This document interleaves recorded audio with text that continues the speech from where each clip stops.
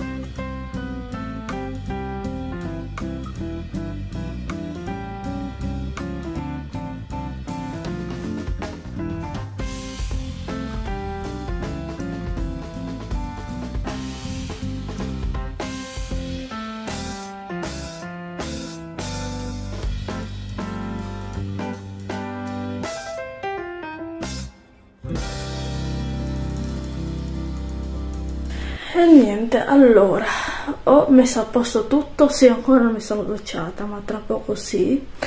Allora, innanzitutto ho pulito tutto quanto, mi ho dimenticata la testiera del letto, ovvero quella lì, sì, più quel quadro di là, l'ho tutto spolverato tutto il resto. Sono andata anche di qui, vedete?